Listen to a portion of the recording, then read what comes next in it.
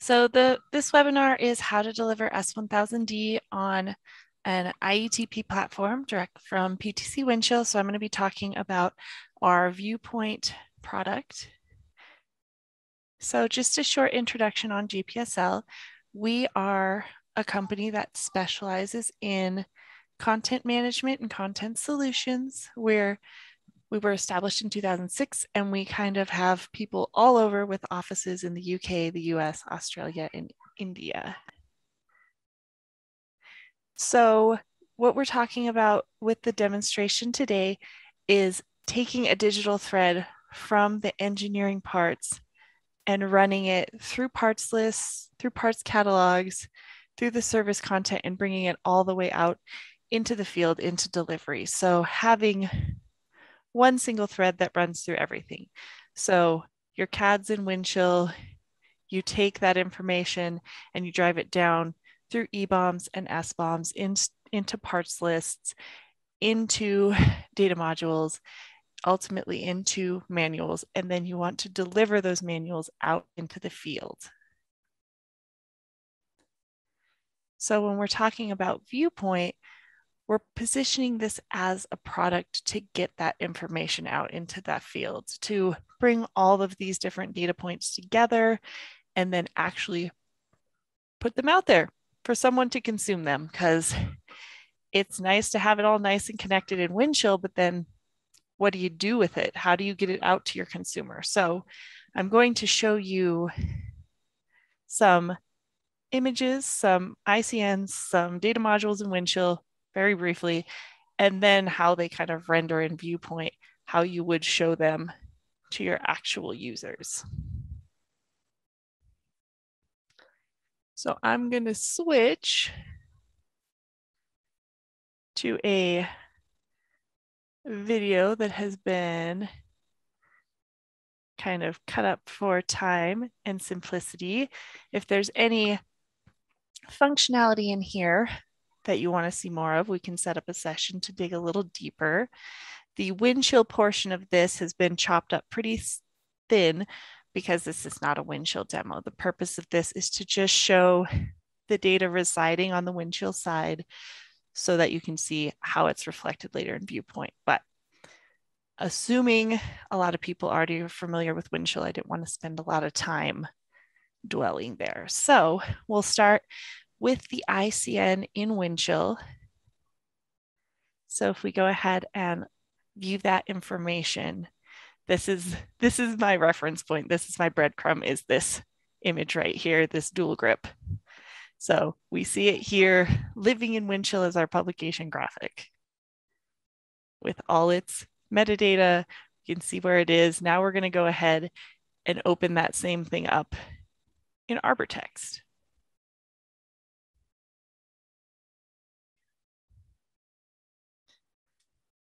So if we scroll up through the data module, there's my breadcrumb again. There's my image again. We can see it in the context of the data module.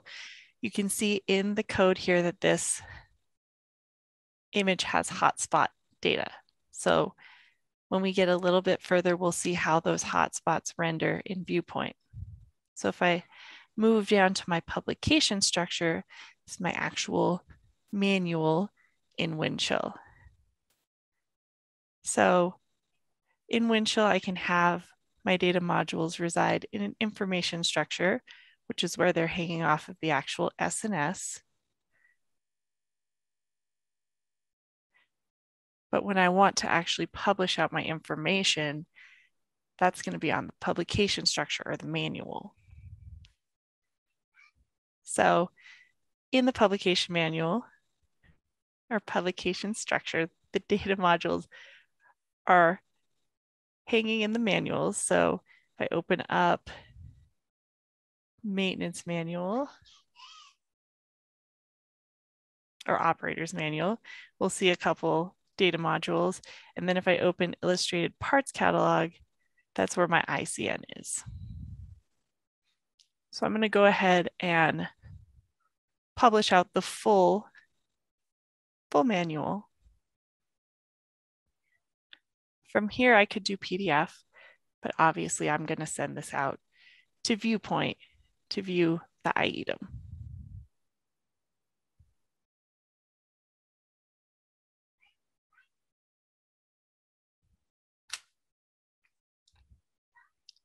So switching over to Viewpoint, it has user sign-in. So the user sign-in is going to contain your bookmarks, the manuals that are in your library. When we come to the main page, this has all the manuals in my library. So in PDF or IETM format. And from here, I can access anything in my library, search my library, go through my bookmarks, or access my saved sessions. So I'm going to search the library first. There's a basic search, which is just a keyword search, or I can do a more advanced search where I can use modifiers or kind of scale down my search. If I just search for the word wheel, that's going to search all the publications for the word wheel. So the results, if I hover over the title, or they're going to show me the publication and the data module. If I hover over the title, it's going to show me the applicability for each entry.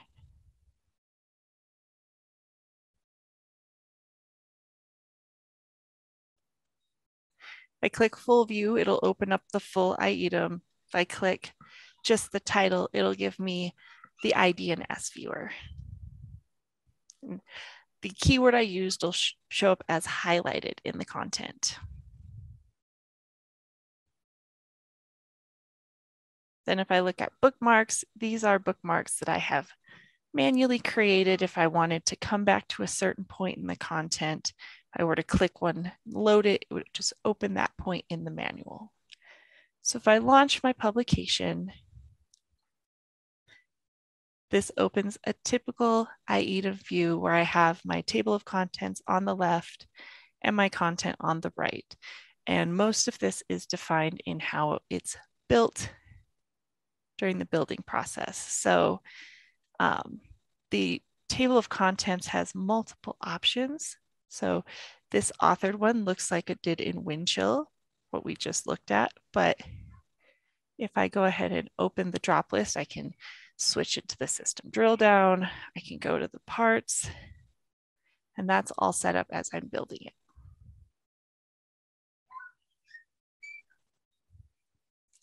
So if I expand some, hover over, I can again kind of get a preview of the applicability, some additional data,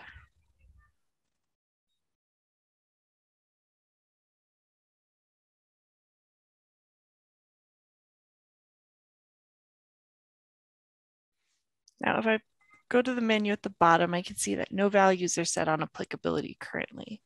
Applicability is set at the manual level, even when we're talking about inline applicability. So if I wanted to adjust the applicability for the gunner station, that's going to apply to the whole book the, at the work package level, or sorry, data module level, and also inline. So when I switch it to single grip, it has removed those two work packages we just looked at that were dual grip. If I go ahead and flip it back and change it to dual grip and apply, those two work packages are going to come back.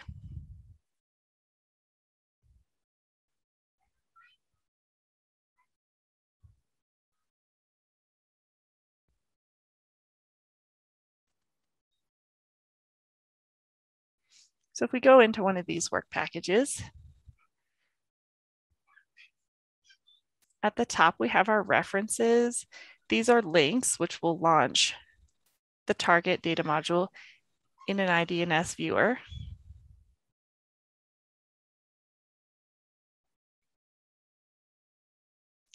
When we come down through to parts, every part number will give you kind of a quick search which pre-populates the search dialog with that part number.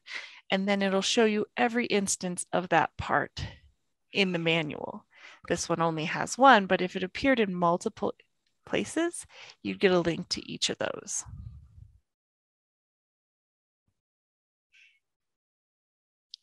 We come back, as we come down into the content, every time you see a tool, you can hover over and get a tooltip with information about the tool. If you click it, it will jump you up to the table at the top of the data module. If you click a figure link, it will open up the image pane and you're gonna see a familiar figure that we just were looking at. In the image pane, we can manipulate the image with some basic tools. We can zoom in and out, toggle the background. If there were hotspots, we could highlight them.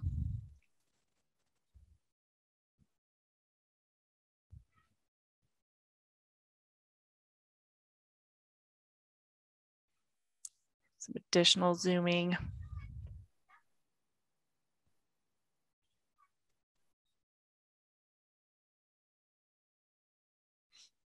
So that kind of covers basic viewing. If we wanted to print, we can print from the data module, but it's important to note that this is not leveraging an S1000D style sheet. Instead, this is leveraging the browser print. So your destination is going to be anything configured. If you had a network printer here, that would be available here.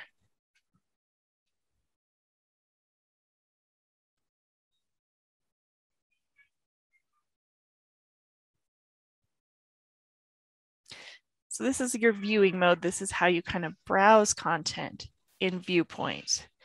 Now, if we were executing content in Viewpoint, we could talk about sessions. So sessions are a way to kind of save your place and return to something. They can either be auto-saved if you're interrupted on the system, or you can save them deliberately and they'll show up here in your session manager off of the main page.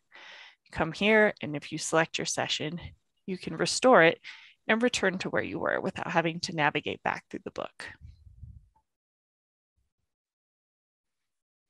So if I open up the data module in execute mode, it looks different because it's more interactive. I'm making choices with the content and my choices are changing how I move through the data module and they're also being recorded on the back end. So as I move through each question, I can make a choice, I can make an input that affects how I'm going to move through. A different choice brings me to a different step. My choice is then recorded on the back end. So as I click through and I'm navigated through, I might have to refer to another data module. When I click the link, it launches the target and then I execute through that. I walk through those as steps as well. They may not have the same choices, but the fact that I've moved through the steps is still recorded on the back end as being completed.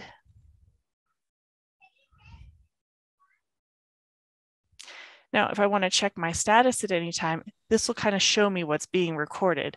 I can see that I've completed the referenced data module and it shows me the steps that I've completed, the start time, the end time. I can also go back and make changes as I'm still in the session and I can suspend my session again and it'll show up in my session manager.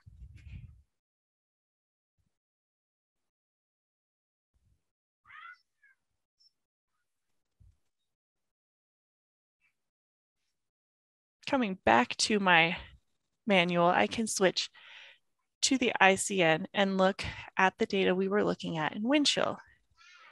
We have our familiar image again, our breadcrumb where we started. And now we can kind of see those hotspots we were looking at at ArborText and how they render in viewpoint. So as I click on the hotspots in the image, they're highlighted in the table. But the linking is bidirectional. If I click them in the table, they're also highlighted in the image.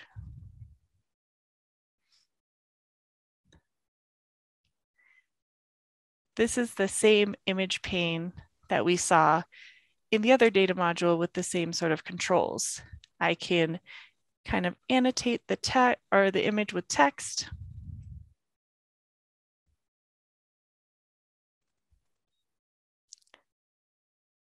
Highlight certain parts. Turn it on, off. And clear it out. If at any point I wanted to print this off, I could print the image marked up, could save the session for the next person working the same level.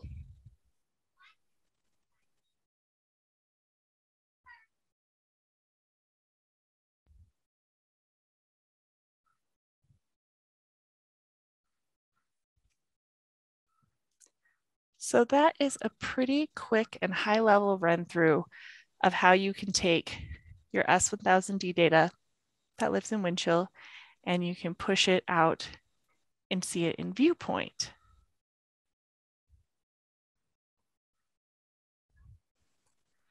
So what we're talking about with viewpoint is having an IETM viewer that's integrated with Windchill that allows you to take all of that connected data and actually get it out to the field to your users. So you're actually getting something out of the digital thread. It supports S1000D and MIL standard content delivery online or offline. It can be configured either way. And so it's available for your users. So that is what I have. So Kate, we can go ahead and switch it over to Q&A. Great, thank you, Christina. Um, so we have had a couple of questions um, pop up in the Q&A. Uh, the first one is, um, is there an API for Viewpoint to connect to an ERP or MES system? Yes, Viewpoint can be configured with APIs to connect to other systems. Okay, um, and then also, um, can Viewpoint operate in an offline mode? Yes, it can be configured to operate offline. And then it's just a matter of connecting to get updated manuals. Um, and then this one, I think you've probably covered, but can Viewpoint support other standards um, other than S1000D? Yes, I believe it's MIL standard 3001 out of the box, but others could be configured. Lovely.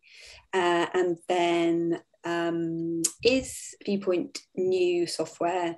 And if not, how long has it been available on the market? I am going to push that question over to Jeff. Yeah, so um, Viewpoint is not new software. It's new in the commercial market, but it's been around in the um, in the government market for a long time. Uh, it was uh, popular and still used in in the Navy. Um, so it's been been tested, vetted. Um, uh, security obviously is is also that there as well to be installed and used on government systems. So um, so the back end of Viewpoint has been used for a long time. Really, what we have here is just a, a reskin, if you will, for a more a more commercial audience. Um, but uh, yeah, the the this is not alpha or beta software. It's it's it's been around for some some time now. Great, thanks, Jeff. Uh, and then we have uh, in my old LBS CSDB suite, I had IETP output capability included. Is Viewpoint uh, is your Viewpoint app any relation to what I had included in my old LBS CSDB? That was a lot of question. Can you say that again? Yeah. Uh, so in my old LBS CSDB suite, I had IETP output capability. Mm-hmm. Um, does this Viewpoint app have any relation to what was included in that old LBS CSDB suite? I see. Yeah. So this is a, an entirely different application. So it's not like born out of the LBS IETP. So it's going to be different than than that. You may see a lot of the same functionality in there. IETPs are sort of a standard, and you have a lot of the same standard fun- functionality there. Um, if you're currently using LBS, you could take that S1000D content and it, it, would go in into Viewpoint. You know, what we showed here was in integration with Windchill and our S1000D for Windchill product, but Viewpoint is an S1000D viewer that can stand on its own.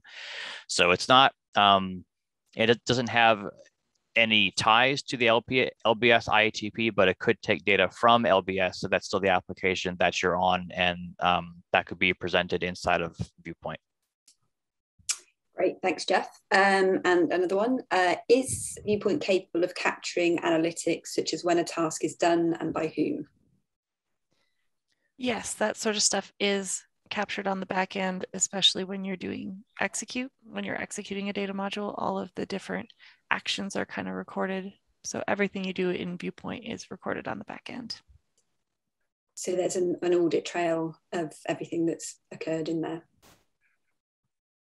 Yes. Yes. So it basically captures everything, every activity in viewpoint is captured in an XML file, uh, sort of saved on the back end, and then you can use that XML file any way that that you want to. It's kind of similar to the A- API question. So it's it's made to be open enough to where you can take that information and being XML, you can incorporate that or dissect it however you need to, uh, however you need to process it. Um, and we have uh, another question come in um, regarding security. Uh, so are individual users managed using a unique sign-in? Yeah, so access control is highly configurable inside of Windchill. Um, I'm sorry, inside of Viewpoint. Uh, it can be um, custom. It can be tied to your uh, LDAP servers. And then when you sign in, um, the environment that you see is dependent upon who is signed in. So if you have different environments within Viewpoint, you can see different things or not see different things. It can be tailored by um, the manuals that are shown. It can be tailored by the the, the content that's shown inside of there. Uh, even the look and feel uh, can change depending upon who is signed in. So um, you know there are some customers that may you know might be serving data to different audiences and they want to have a different branding, a, you know, a different color scheme and things like lot like that. Uh, if a technician, you know, works on certain types of content but not others, that uh, content can be tailored depending on what they're concerned with. Um, we are pretty much out of time, so unless anyone has a final question. Oh, yeah, we do. Uh, does the viewer does the viewpoint viewer license have a limit on how many users? No. So the licensing, that's probably a different discussion, but it depends on on how you want to architect it. Um, for the there's a, a license for the builder, um, and that would accommodate I think up to five people. One is just it's really just for for testing and making sure things ran through the builder correctly to kind of give you a, a preview beat before it goes out. And then most of our clients want to really work with it in an offline mode, which would be sort of a one to one to the tied to the machine. And obviously, you know, if you've got several people working at a kiosk or on some or, or on a, a, a Toughbook, I mean, multiple people can be uh, can be on that. So the the licensing from a serialization point of view for offline would, would be, be tied to the um, to to the hardware uh, that would be supporting the viewer. Great, thanks, Jeff. Well, thanks, Christina, um, and Jeff for your input with the Q and A's. Um, I, as I said, will send this recording out to everybody tomorrow. Um, if you do have any further questions, feel free to either reach out directly to me, and I can forward them on to the team um, or if you obviously already have the team's contact details, by all means reach out to them direct. Um, and yes, thank you everyone for attending. Um, hopefully it was useful and please do let us know if you would like a follow-up session or to see anything in more detail um, after the event. Thank you all. Yep, thanks all.